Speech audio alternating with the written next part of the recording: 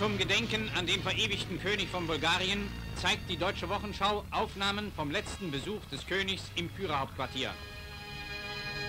Der Führer empfängt König Boris auf dem Flugplatz. Herzliche Begrüßung der beiden Staatsoberhäupter.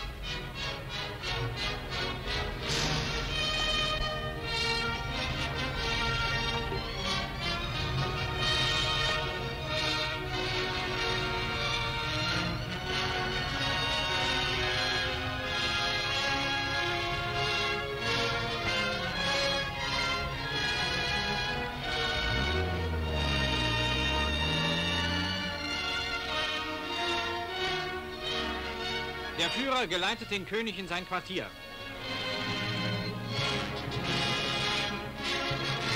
Nach den Besprechungen, die im herzlichen Einvernehmen verliefen.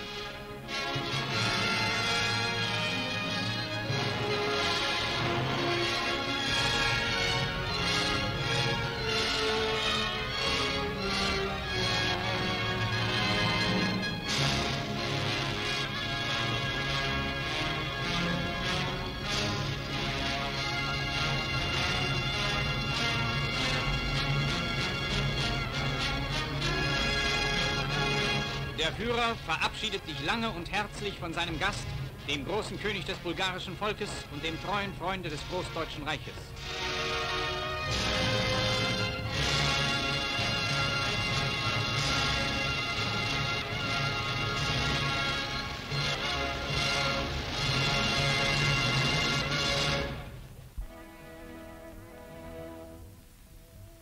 Sofia, die trauernde Bevölkerung zieht an ihrem verewigten König vorbei, der einer tückischen Krankheit zum Opfer fiel.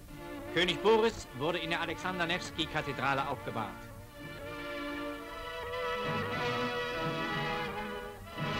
Königin Joanna begibt sich zur Trauerfeier in die Kathedrale.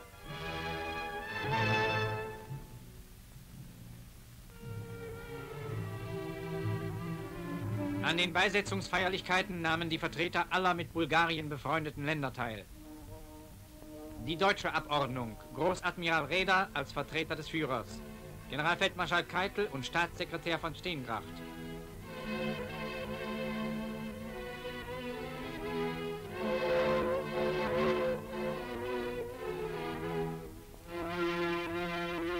Der Kranz des Führers. Der junge König Simeon II. Der Sarg mit den sterblichen Überresten des Königs wird in einer militärischen Trauerparade zum Bahnhof geleitet. Die Beisetzung erfolgte in dem tausendjährigen Rila-Kloster in den Bergen südlich von Sofia.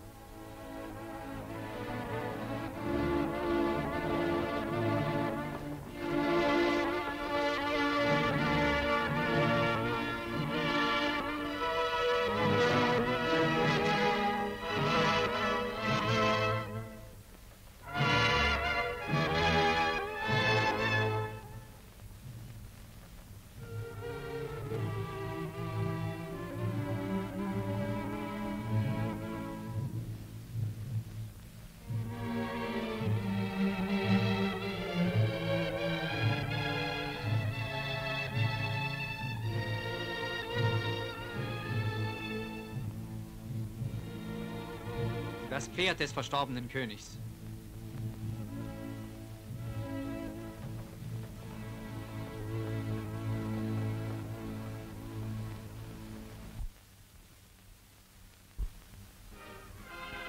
Am Tag der Wehrertüchtigung legte die Hitlerjugend in allen Gebieten des Reiches vor dem deutschen Volk Zeugnis ab über ihr Können in der vormilitärischen Ausbildung.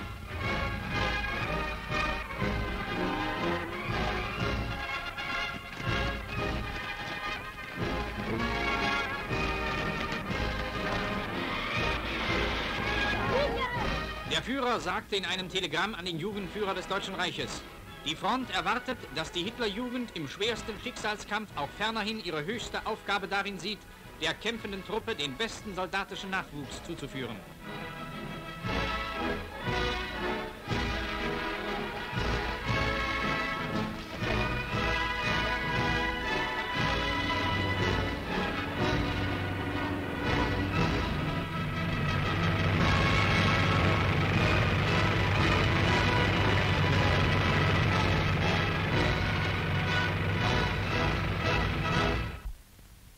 Der deutsche Hilfskreuzer Thor läuft nach erfolgreicher Feindfahrt in einem japanischen Hafen ein.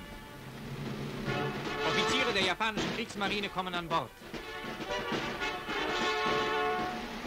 Begrüßung beim Kommandanten, Kapitän zur See Günther Gumprich, der später mit dem Ritterkreuz ausgezeichnet wurde.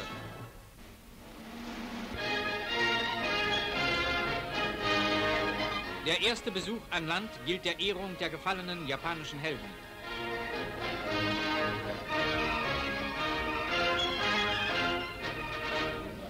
Für die Besatzung des Hilfskreuzers ist nach langen Wochen des Kampfes, der Einsamkeit und der Entbehrungen eine Zeit der Erholung gekommen. Unsere blauen Jungen wurden überall herzlich und gastfreundlich aufgenommen. Der heilige Berg Japans, der Fujiyama.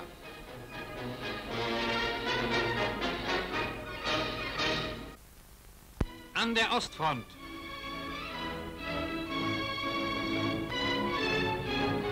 Die ESKK-Brigade Speer beim Transport von Infanterieeinheiten.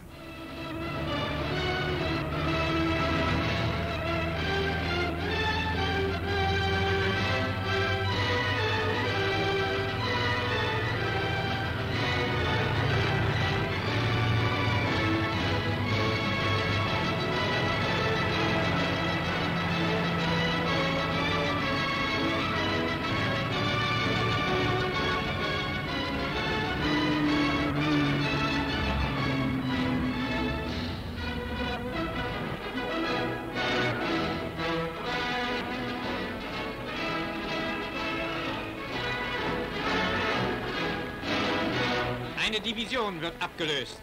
Frische Kräfte besetzen den Frontabschnitt.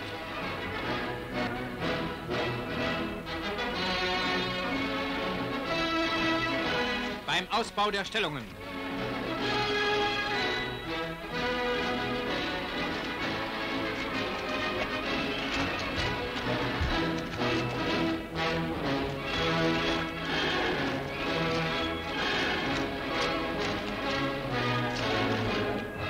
Der Magen darf nicht zu kurz kommen.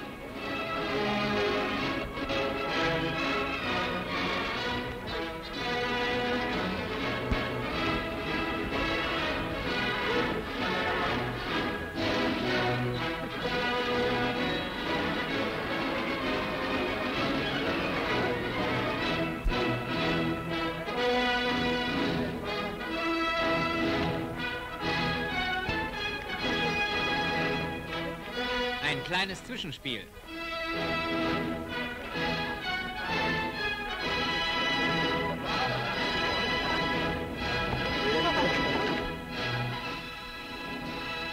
Die Unterkünfte werden übernommen.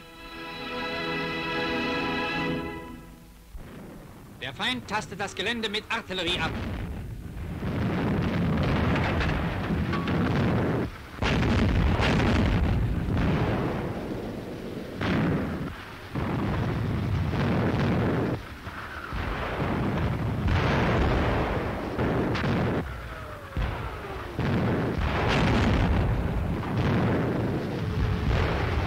Unserer Artillerie bleibt die Antwort nicht schuldig. Bolschewistische Bereitstellungen werden unter Feuer genommen.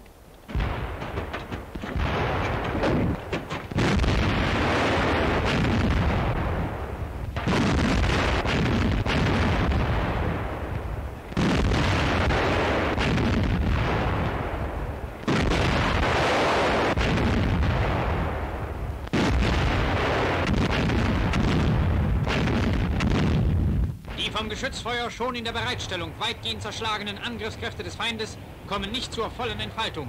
Sie werden von unseren Soldaten angegriffen. Ein Sturmgeschütz geht vor.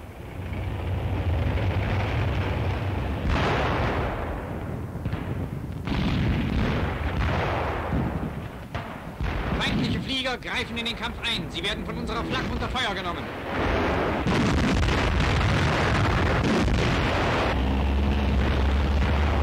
Bei der beweglichen Kampfführung ist das Zusammenwirken aller Waffen von entscheidender Bedeutung.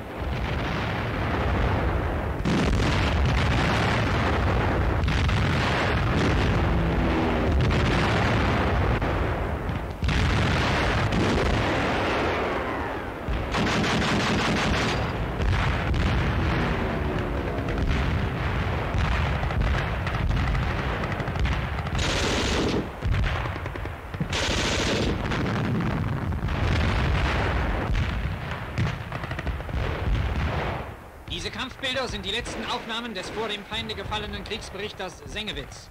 Ein bolschewistischer Schützenangriff wird von unseren Grenadieren abgewiesen.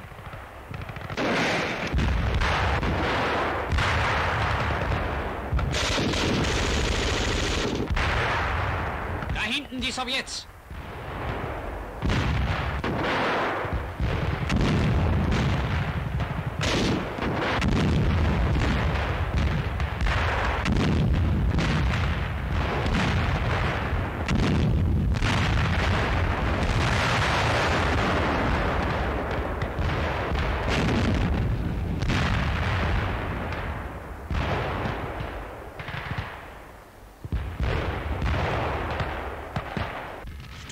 Über dem Kampfgelände. Rechts vorn eine eingebaute Filmkamera.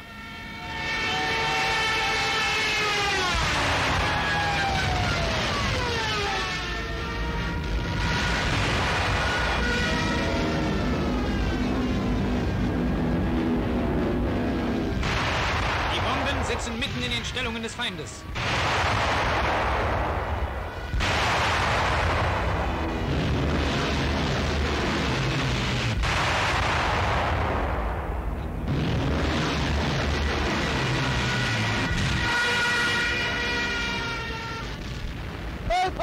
Unsere Werferbatterien greifen ein.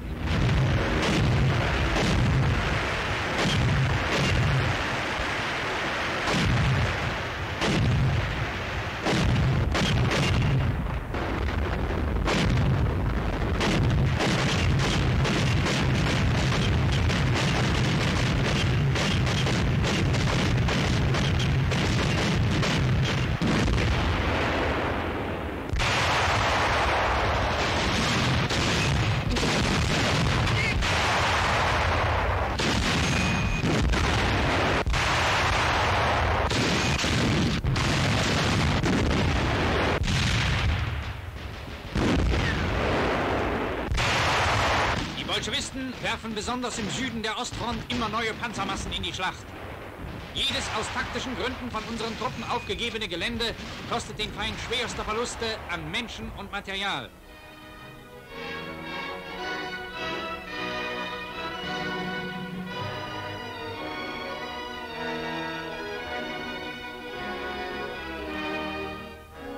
Das ist die Wirkung unserer Waffen. Sowjetgefangene tragen Verwundete zum Hauptverbandplatz.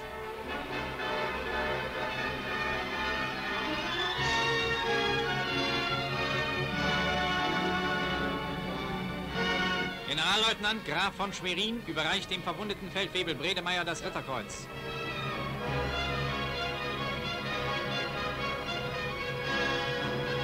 SS-Unterscharführer Thaler wurde als erster Panzerfahrer der deutschen Wehrmacht mit dem Ritterkreuz ausgezeichnet. Italien.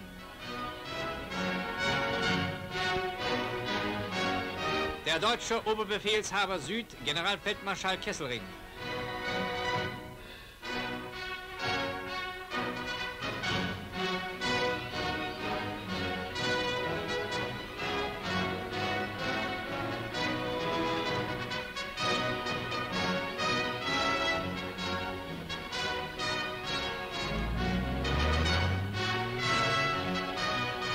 An den Küsten stehen unsere Verbände einsatzbereit.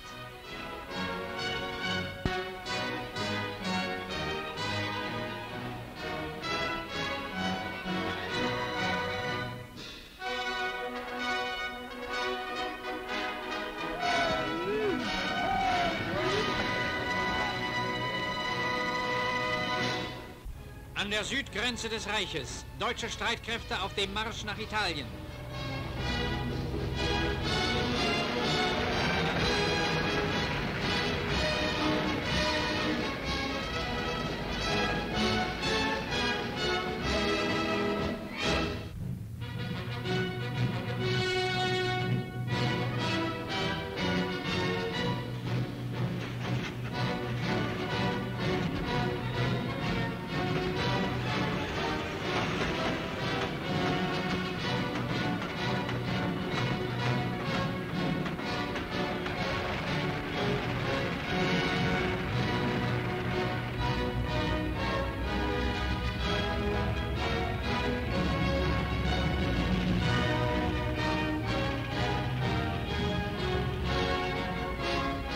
Grenze ist erreicht.